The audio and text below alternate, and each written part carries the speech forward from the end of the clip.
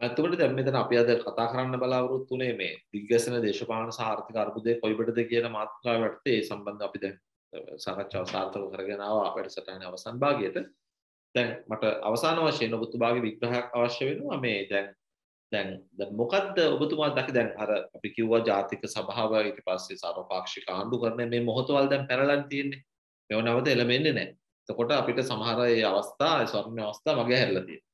දැන් කට්ටයක්ට පේනවා කණ්ඩායමකට පේනවා පොහොට්ටුව විසින් ජනාධිපතිවරයා අත්අඩංගුවට අරගෙන ඉන්නවා.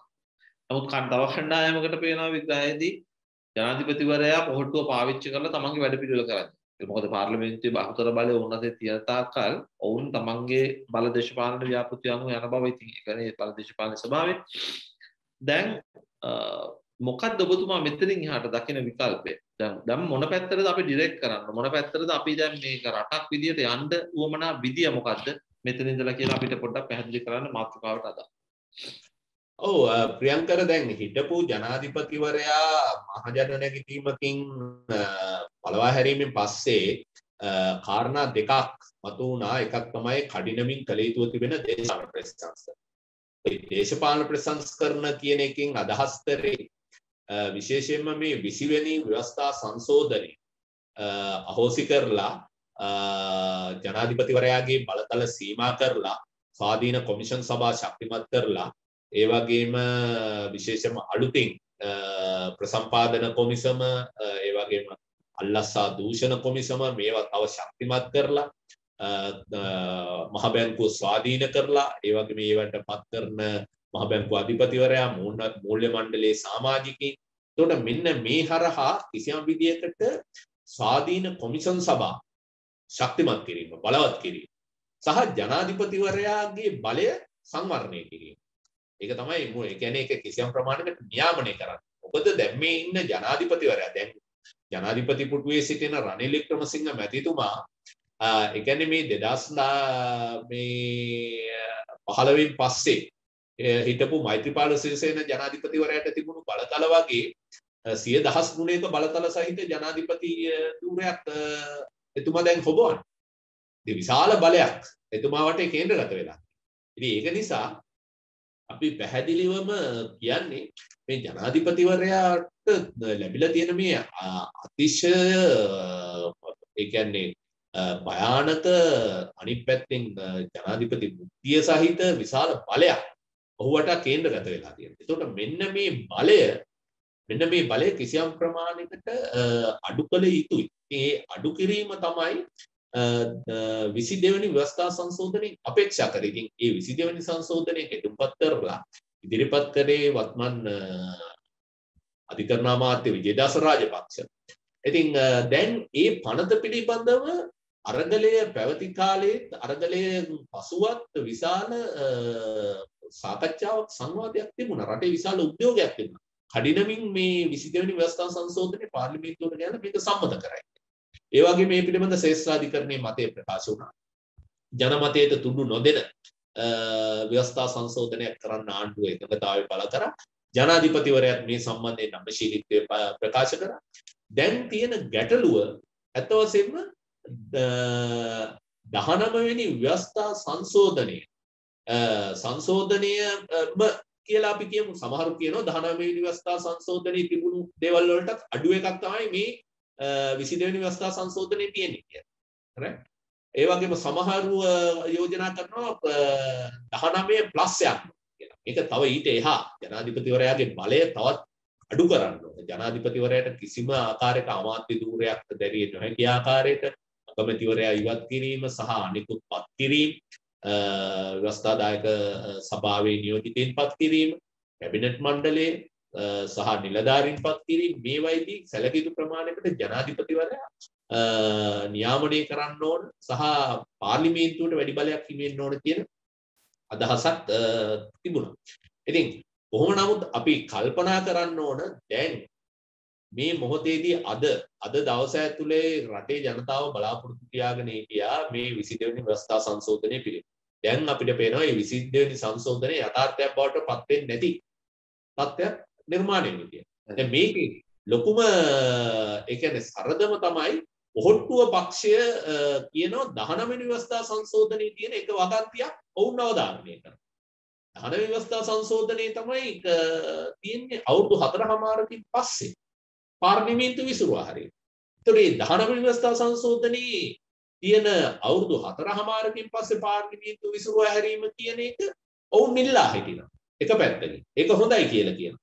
ඒක හොඳයි කියන ගමන් අනිත් පැත්තෙන් ඒක ඕන කියන ගමන් අනිත් පැත්තෙන් අපිට පේනවා තව සැක සංකා ටිකක් මතු කරනවා මේ ජනාධිපතිවරයාගේ බලතල අඩු කිරීමට එකඟ නෑ මේක ඇතුලේ විදායකයේ දුර්වල වෙනවා බෙදුම්වාදයේ ශක්තිමත් වෙයි රට ෆෙඩරල් වෙන්නේ යයි ඒ වගේම 13 වෙනි ආණ්ඩු ව්‍යවස්ථා සංශෝධනය මුළුමනින් බලාත්මක වෙයි රාජ්‍ය දුර්වල වෙයි මේ වගේ කිසිම විදියට මේ කෙටුම්පතේ නැති දේවල් ඉදිරිපත් කරමින් ජනතාව බියවත් ගන්න උත්සාහ කරනවා. විශේෂයෙන්ම මේ රටේ බෞද්ධ සිංහල බෞද්ධ ජනතාව සහ ස්වාමීන් වහන්සේලා බියවත් ගන්න උත්සාහ කරනවා. ඒ තලියේ කිඹුල්ලු දකින. දැන් මේ ජාතික සංවිධාන තියාගන්න අය ඇතැම්ම ඒවා හිටපු ඔය න්‍යායදරයන් ඇවිල්ලා කියනවා මේක මෙහෙම වෙන්න පුළුවන්. මෙහෙම වෙන්න පුළුවන්.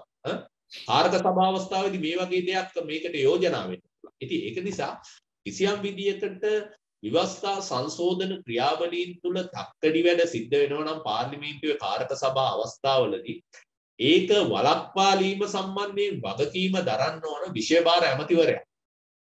සහ මේ පනත් කෙටුම්පත ඉදිරිපත් කරපු ඇමතිවරයා විදියට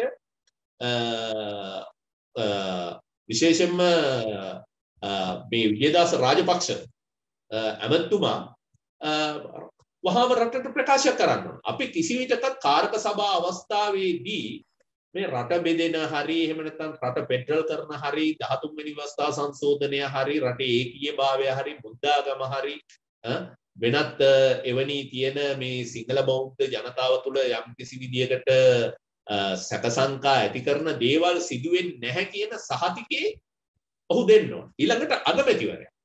මොකද අගමැතිවරයා ගත්තම ඔහු මහජන එක්සත් පෙරමුණේ නායකයෙක්. ඔහු දිගින් දිගටම මේ රටේ ඒකීයභාවය වෙනුවෙන් පෙනී හිටපු කෙනෙක්. රටේ මෞලික අඛණ්ඩතාවයේ ඒකීයභාවය වෙනුවෙන් පෙනී හිටපු කෙනෙක්. ඉතින් ඒක නිසා ඔහුට ඔහු සම්පූර්ණයෙන්ම ඉන්නේ මේ ඒකීය කඳවුරේ. ඉතින් ඒකීය කඳවුරේ ඉන්න කෙනෙක් එතන ඉදි අගමැති ධූරේ ඊළඟට මහින්ද රාජපක්ෂ මැතිතුමා පොහොට්ටුව පක්ෂයේ නායකයා. ඉතින් ඔහු නායකයා විදිහට ඔහුගේ කණ්ඩායම තුල යම් අවිශ්වාසයක් ඇති කරනවා නම් මේ මෙහෙම දෙයක් වෙන්න පුළුවන් කියලා ඇත්ත වශයෙන්ම මේවා ජනතාව නොමග යවන්න දරන උත්සාහය. ඒක නිසා මේ මේ 22 වෙනි ව්‍යවස්ථා සංශෝධනය අඩුපාඩු සහිතව වුණා සම්මත කරගන්න බැරි වුණොත් මේකෙන් ඉතුරු වෙන්නේ ඊටාම බලගතු ජනාධිපතිවරයෙක්. ඒ කියන්නේ බලගතු ජනාධිපතිවරයෙක් කියන්නේ විශාල අක්ෂණෝමතික බලතල ප්‍රමාණයක් Taman සතු කරගත්ත රජෙක් වගේ ඒක ඔහු ක්‍රියාත්මක නොකිරීමයි මේ මොහොත තියෙන්නේ. අපි දන්නේ අනාගතේ මොන විදිහටද කටයුතු කරයිද කියලා. ඒක නිසා එවැනි බලතල සහිත ජනාධිපතිවරයෙක් ඇත්ත වශයෙන්ම පවත්වා ගැනීම මේ වෙලාවේ රටේ ප්‍රජාතන්ත්‍රවාදයට ඉතාම අහිතකරයි. රටේ ප්‍රජාතන්ත්‍රවාදී සෞඛ්‍යයට ඉතාම අහිතකරයි. ඉතින් ඒ නිසා යම් විදිහකට පාලනය ඇති විය යුතු ජනාධිපති ධූරේ. ඒ වගේම තමයි ජනාධිපතිවරයාගේ බලතල සීමා කළ යුතුයි කියලා අපි කියන්නේ ජනාධිපතිවරයාගේ පත්වීම පිළිබඳව මේ රටේ සමාජය ඇතුලේ පොදු සමාජය ඇතුලේ තවම පිළිගැනීම ඒකට සුජාතභාවයක් ලැබී නැති තත්ත්වයක් තුල මොකද අපිට දැන් ජනාධිපතිවරණයක් ඇඳවීමේ හැකියාවක් නැහැ. ඉතින් ඒ වගේම ජනාධිපතිවරයා අරගලයකින් හෝ වෙනත් ක්‍රියා සමාජ ක්‍රියාකාරීත්වයකින් පළවා හැරියා කියලා ජනාධිපතිවරයා පිළිබඳ ප්‍රශ්නේ විසඳෙන්නේ නැහැ. එහෙනම් ජනාධිපතිවරයා අපිට ඉවත් කරගන්න පුළුවන් වෙන්නේ ඊළඟ ජනාධිපතිවරණය ප්‍රකාශයටපත් කිරීමෙන් පමණයි. මැතිවරණයකදී පමණයි. ඒක නිසා මේ වෙලාවේ කළ හැකි හොඳම දේ තමයි ජනාධිපතිවරයාගේ බලතල සීමා කරන එක. ඒකට 22 වෙනි ව්‍යවස්ථා සංශෝධනය අවශ්‍යයි. දෙවැනි කාරණේ ඒක ඒක කියන්න ඕනේ ඒක යම් කිසි විදිහකින් කරගන්න බැරි වුණා. ඉතින් දැන් ඔය අරගල කරුවන් විරෝධතා කරුවන් සහ ආණ්ඩු විරෝධී විපක්ෂයේ සියලු දෙනා කියන දේ තමයි මේ ජනාධිපතිවරයා හරිම මුරණ්ඩු දැඩි පාලනයක් ගෙනියන මර්ධනයක් ගෙනියන කෙනෙක් කියලා. එහෙනම් ඔහුගේ මර්ධනයට අවශ්‍ය කරන බලය කොහින්ද ඔහුට ලැබෙන්නේ? ලැබෙන්නේ ව්‍යවස්ථාවෙන්. විධායක ජනාධිපති තනතුර. ඒ ජනාධිපති තනතුරේ තියෙන බලය එහෙමනම් අඩු කරන්න ලැබෙන ස්වර්ණමය අවස්ථාව තමයි 22 වෙනි ව්‍යවස්ථා සංශෝධනය. ඉතින් ඒ සංශෝධනයට අත උස්සන්න නැතුව ඒකට වෙන වෙන කොන්දේසි දාලා වෙන වෙන හේතු කාරණා ඉදිරිපත් කරලා මේක මගහැරලා යන්න හදනවනම් පාර්ලිමේන්තුවෙන් නැගිටලා යන්න හදනවනම් ඡන්ද විමසන අවස්ථාවේදී ආසන වලින් නැගිටලා එළියට යන්න හදනවනම් එයින් කරන්නේ මේ රටේ ජනතාවගේ ප්‍රජාතන්ත්‍රවාදී අයිතිය සහ ප්‍රජාතන්ත්‍රවාදී පරිසරය ශක්තිමත් කරන්න තියෙන අවස්ථාව අහිමි කිරීම. දෙක පාර්ලිමේන්තුව සම්බන්ධයෙන් තිබෙන විශ්වාසය බිඳ වැටලා තියෙනවා. ඒක නිසා කඩිනමින් මේ රටේ ජනතාව අද ඉල්ලනවා පාර්ලිමේන්තු මැතිවරණයක් ඕන. එහෙනම් කඩිනමින් පාර්ලිමේන්තු මැතිවරණයක් දෙන්න ජනාධිපතිවරයාට පුළුවන් කමක් නැහැ. ජනාධිපතිවරයාට පුළුවන් වෙන්නේ ව්‍යවස්ථානුකූල රාමුව ඇතුළේ පාර්ලිමේන්තුව ඉසුරුවා හැරීමට තිබෙන ප්‍රතිපාදන ක්‍රියාත්මක. එහෙමනම් ඒ සඳහා ඉක්මනින්ම අවස්ථාව ලබා ගන්න පුළුවන් වෙන්නේ අවුරුදු දෙකමාරකින් නම් ඊළඟ අවුරුද්දේ මාර්තු මාසේ වෙනකොට පාර්ලිමේන්තුව විසුරුවා හැරීමට අවශ්‍ය ප්‍රතිපාදනය තියෙනවා. මේ විසි දෙවනි වස්ථා සංශෝධනය ඇතුළේ. දැන් ඒකට විරුද්ධ වෙන්නේ කවුද? ඒකට විරුද්ධ වෙන්නේ මේ පොහොට්ටුවේ මන්ත්‍රීවරු. අපි දන්නේ දැන්ට පොහොට්ටුවේ මන්ත්‍රීවරුන්ද යටිහිටින් අනිත් සියලුම මන්ත්‍රීවරුත් මේකට කිසියම් කැමැත්තක් පළ කරනවා දන්නේ මැතිවරණයකට නොයා ඉන්නවනම් හොඳයි කියලා. නමුත් අපි දන්නවා අවුරුදු දැන් මේ මහා පාර්ලිමේන්තුව ගැන තිබෙන මේ මහජන විරෝධය මහජනයා තුළ තියෙන අප්‍රසන්න භාවය පිළිකුල එක්ක කිසියම් විදියකට ඒ කටයුත්ත කරගන්න බැරුව ඒක තව අවුරුදු හතරහමාරකට ගියොත් ඇත්ත වශයෙන්ම ජනතාව කල්පනා කරයි මේ පාර්ලිමේන්තු මන්ත්‍රීවරුන්ට අමතක නොවන පාඩමක් උගන්වන්න ඕන කියලා නැවත ඔවුන් ප්‍රජාතන්ත්‍රවාදය පිළිබඳ බැලට් එක ගැන තියෙන විශ්වාසය පසක කියලා වෙනත් ක්‍රියාමාර්ග වලට අවතීර්ණ වෙන්න පුළුවන්. ඉතින් මොකද අවුරුදු දෙකහමාරකින් ඒ කියන්නේ 2024 ඒ කියන්නේ තව අවුරුදු හතරහමාරකින් පස්සේ නම් ඡන්දය පැවැත්වෙන්නේ ඒ වෙනකොට මේ ජනතාව තුළ මේ මහජන නියෝජිතයන් පිළිබඳ විශාල අප්‍රසාදයක් ගොඩනැගෙන පුළුවන් මොකද දැනටම මේ කැබිනට් ඇමතිවරු පත් කිරීම රාජ්‍ය අමාත්‍යවරු පත් කිරීම පිළිබඳව වෙලා තියෙන මිනිස්සුන්ගේ පිළිකුල අප්‍රසාදය ඉතාම බලවත් ඒක නිසා ඒකෙන් අදහස් කරන්නේ මේ සියලු දෙනා පිළිබඳව එහෙම අදහසක් තියෙන කියලා. නමුත් සැලකිය යුතු ප්‍රමාණයකට මේ රාජ්‍ය අමාත්‍යවරු පත් කිරීම පිළිබඳ ප්‍රසාදයක් ඇතිලා තියෙනවා. අනිත් පැත්තෙන් මිනිස්සුන්ට පෙනී ගිහිල්ලා තියෙනවා මේ අර්බුදය තුලත් තවමත් මේ ගෑස් වලින් විදුලියෙන් ඒ වගේම ගල් අඟුරු වලින් පෙට්‍රල් වලින් ඩීසල් වලින් මේ හැම එකකින්ම බෙහෙත් වලින් හැම එකකින්ම තවමත් මේ දූෂණය වංචාව හොරකම සිදුවෙමින් තියෙනවා කියන එක පිළිබඳ කරුණු කාරණා සෑහෙන ප්‍රමාණයක් මේ වෙනකොට එළියට ඇවිල්ලා තියෙනවා. ඉතින් ඒක එක පැත්තකින් අපි කියන්න ඕන. හැබැයි මේ අතරම කිසියම් ප්‍රමාණයකට අර තිබුණු තත්ත්වයට වඩා යහපත් තත්ත්වයක් ඇති කරලා තියෙනවා. හැබැයි යහපත් තත්ත්වයක් ඇති කිරීම තුලින් අදහස් වෙන්නේ නැහැ. මේක පිටුපස්සේ සිදුවෙන්නා වූ දූෂණ වංචා ආක්‍රමිකතා අපි සම්පූර්ණයෙන්ම අමතක කළ යුතුයි කියන්නේ. කෙසේ නමුත් අද මේ මේ කඩිමුඩියේ 22 වෙනි ව්‍යවස්ථා සංශෝධනය පාර්ලිමේන්තුවට ගෙනීම පිළිබඳව තිබුණු බලාපොරොත්තු කිසියම් ප්‍රමාණයකට බිඳ වැටලා තියෙනවා ජනතාව තුළ ඒ සම්බන්ධ තිබුණු උද්‍යෝගයක් සෑහෙන්න අඩු වෙලා තියෙනවා. ඉතින් මේක තාම කනගාටුදායක තත්ත්වයක්. ඉතින් ඒක නිසා මම කියන්නේ කොයිබටද කිව්වොත් දේශපාලන අර්බුදය තව තව තීව්‍ර වෙනවා. මොකද මේක මේ බලාපොරොත්තු ඇති එකම දේශපාලන ප්‍රතිසංස්කරණය මෙච්චරයි කරන්න පුළුවන්. ඉතින් මේකත් කරගන්න බැරි නම් මේ පාර්ලිමේන්තුව ඇතුළු. ඒකටත් මේ පාර්ලිමේන්තුවේ ඉන්න മന്ത്രിවරු මේ 225 දෙනා අතර සම්මුතියක් එකඟතාවයක් ඇති කරගන්න බැරි නම් ඒ වෙනුවෙන් කැපකිරීමක් කරන්න බැරි නම් මේ රට ඉල්ලා සිටින මේ ප්‍රශංස්කරණය ලබා දෙන්න.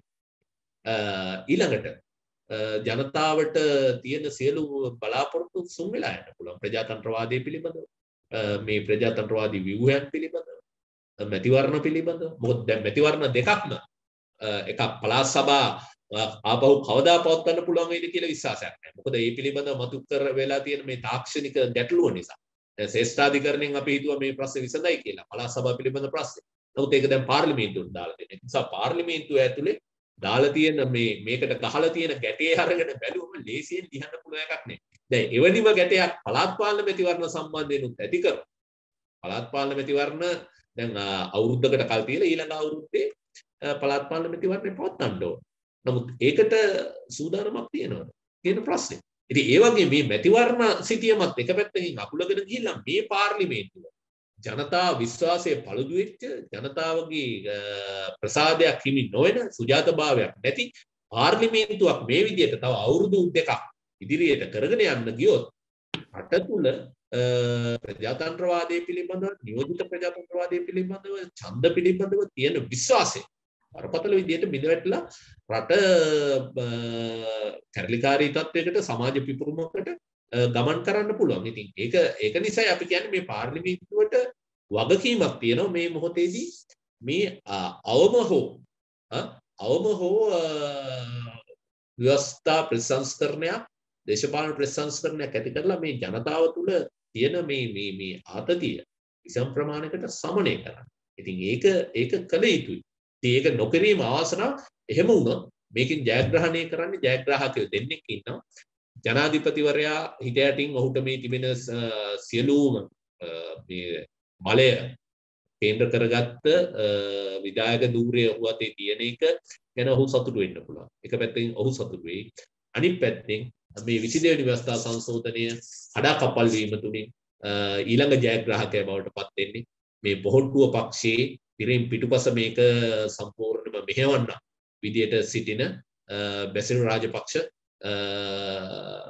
මැතිතුමා වෙන්න පුළුවන්. ඉතින් ඒක නිසා අවසාන වශයෙන් ජයග්‍රාහකයෝ විදියට ඉදිරි වෙන්නේ වුන් මුළු දෙකෝටි මේ 20 ලක්ෂයක් මේ රටේ ජනතාව මේකින් පරාජයට පත් වෙනවා. ඉතින් ඒක නිසායි අපි කියන්නේ මේක අවශ්‍යයි.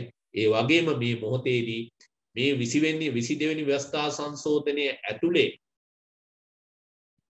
කලියේ කිඹුල්ලු පෙන්නන ජාතික සංවිධාන තියෙනවා. අද මේ ඇතම් සාමීන් වහන්සේලා ඇවිල්ලා කියනවා 22 වෙනි සංශෝධනය හරහා රට බෙදෙන්න යනවා, රට පෙට්‍රල් කරන්න යනවා, රට ඒකීයභාවය නැති වෙන්න යන්නේ, ජනාධිපතිවරයා නාමික වෙන්න යන්නේ. හරි. මේ වගේ විවිධ කිසිදු පදනමක් නැති තර්ක ඉදිරිපත් කරනවා. මේ සියල්ලත් අවසාන වශයෙන් සේවය කරන්නේ මම කලින් කිව්ව දෙදෙනා. ඉතින් ඒක නිසා ඔවුන් කරන්නේ සම්පූර්ණ මේ වෙලාවේ රටේ ඉදිරි ගමනට ප්‍රගමණයට සහ අපිට ඇත්ත වශයෙන්ම මේ මොහොතේදී අපේ ආර්ථික ප්‍රසංස්කරණ උනත් ඉදිරියට ගෙන්න යන්න දේශපාලන ප්‍රසංස්කරණයක් අවශ්‍යයි. රට ස්ථාවර කරගන්න විතරක් නෙවෙයි ජාත්‍යන්තර වශයෙන් අපිට අවශ්‍ය සහයෝගය ලබා ගන්න. ඉතින් ඒක නොලබීම පිළිබඳ විශාල සිත් වේදනාවකින් අපි සියලු දෙනාම ඉන්නේ මේකට. මම හිතන්නේ මුළු රටම මේ වෙලාවේ යම්කිසි විදියකට බලාපොරොත්තු සුන් කරගෙන තියෙනවා. අපි අපේක්ෂා කරපු විදියට ජාතික සභාව කටයුතු සිදුුණෙත් නැහැ. විපක්ෂයේ ඊට අවශ්‍ය නිසි දායකත්වය ලබා දෙන්නේ නැහැ. මේ මොහොතේ විපක්ෂය පැත්තෙන් නිසි මැදිහත් වීමක් කාර්යභාරයක් ඉෂ්ට නොකර මගහැර යන හෝ එහෙම නැත්නම් පුදු විවේචනය පමණක් කරන කණ්ඩායමක් බවට පත් වෙලා තියෙනවා. ඒක තමයි ආසනවන්ත තත්. ඒකයි මම කිව්වේ දේශපාලන අර්බුදය දිග්ගැසෙනවා. දේශපාලන අර්බුදයේම ප්‍රතිඵලයක් විදිහට අපි බලාපොරොත්තු වෙන ආර්ථික ප්‍රසංස්කරණ ටික IMF එකත් එක්ක වෙන්න පුළුවන්. රට ඇතුළේ කරන්න ඕන ආර්ථික ප්‍රතිව්‍යුහගත කිරීම සහ රාජ්‍යංශයේ කළ යුතු බරපතල වෙනස්කම් මේ කිසිවක් අපිට කරගන්න බැරි වෙලා අවසාන වශයෙන් මුළු රටම නැවත විශාල රාජික තත්වයකට තල්ලු වෙන්න පුළුවන්. ඉතින් අවසානයේ මේකට එක ඉදිරිය පාලකීන්ගේ පැත්තෙන් එන්න පුළුවන් එකම දේ මර්ධනය පමණයි. ඉතින් ඒක තමයි ඉදිරියේදී වෙන්න පුළුවන්. මේක වළක්වා ගැනීම තමයි මේ මොහොතේ තියෙන එකම ඒ කියන්නේ මහජනයාට ගේ පැත්තෙන් බලාපොරොත්තු තියාගන්න පුළුවන් වෙනවා නම් තියෙන්නේ. ඉතින් පාර්ලිමේන්තුව කොහොමද? පාර්ලිමේන්තු മന്ത്രിවරු මේ වගකීමට වගකීම ඉටු කරනවද කියන ප්‍රශ්නය අපි සියලු දෙනා ඉදිරියේ තියෙනවා. අපි නැවතත් ඉල්ලා හිටින්නේ මේ පාර්ලිමේන්තුවේ ඉන්න മന്ത്രിවරු සියලු දෙනාගේ කරුණාකරලා දූරදර්ශීව කටයුතු කරලා මේ රට රටේ අඳුරට වැටෙන්න නොදී රට කිසියම් ප්‍රමාණයකට මේ අඳුරෙන් ගොඩ ගැනීම සඳහා අවශ්‍ය දායකත්වය ලබා දෙන්න කියන ඉල්ලීම තමයි කරන්නේ. පැහැදිලි. හොඳයි බොහොම ස්තුතියි ඔබතුමාට අද දිනේ අපේ වැඩසටහන සමග සම්බන්ධ වුණාට දේශපාලන ආර්ථික අර්බුදය කොහොමටද කොයිබටද යන්නේ කියන එක තමයි අපි අද කතා කරේ. ඉතින් අපිට ඇත්තටම මේ අද මේ වන විට තියෙන තත්ත්වය ජාත්‍යන්තරයෙන් තිබෙන තත්ත්වය සහ මේ විද්‍යාන සංශෝධනයේ සම්බන්ධව ඇතිවලා තිබෙන ගැටලු දිහා බැලුවම පොහොට්ටු බහුතරයක් ඉන්න තැනක ඔවුන්ට නැවත වතාවක් මේ වෙලාවේ ගම්බිම් වලට කියලා ඡන්දයක් කරන්න බැරි තත්ත්වයක් තිබෙන නිසා. ඔවුන් මං හිතන්නේ මේක මේ මේ හේතුව මතම මේකේ සංශෝධන ඉල්ලලා මේක නොකරන තැනට වැඩේ හදාගෙන යන බව තමයි මම හිතන්නේ. අපිට සිවිල් පුරවැසිය විදිහට පේන්නේ. ඒ අවසාන වශයෙන් අපිට නැවත වතාවක් අඳුරු යුගයක් කියන්නේ. දැන් ඉන්න තත්ත්වයට වඩා අර්බුදකාරී තත්ත්වයක් ඉදිරියේ දේශපාලන ආර්ථික සමාජීය වශයෙන් ඔබතුමා කියන සමාජ පිපුරා යාම කියන්නේ ඊළඟට මොන විදියට මොන ශේෂ්ත්‍රයෙන් මතුවේද කොයි විදියට පැතිරෙයිද කියලා අපි කවුරුත් දන්නේ නැහැ. ඉතින් ඒ මට්ටමකට මේක යන්න පුළුවන් කියන ටිකක් ඍණාත්මක අදහසක් එක්ක තමයි අපිට මම හිතන්නේ වැඩසටහන ඉවර කරන්න වෙන්නේ. මොකද මෙතන අවංකව වැඩක් කෙරෙන්නේ නැති නිසා. මේ කාරණාව සම්බන්ධ දේශපාලන ආර්ථික ප්‍රතිසංස්කරණ සම්බන්ධ. ඉතින් අපි එහෙමනම් ඔබතුමාට බොහොමත්ම ස්තුතිවන්ත වෙනවා අපිත් සම්බන්ධ වුණාට නිශාන්ත වර්ණසිංහ මහත්මයාට ෆේස් ටු ෆේස් වැඩසටහන වෙනුවෙන් අපි නැවත දිනයක හමු වෙමු. බොහොමත්ම ස්තුතියි. අයිබෝවන්. සුබ රාත්‍රියක්. සුබ රාත්‍රියක්.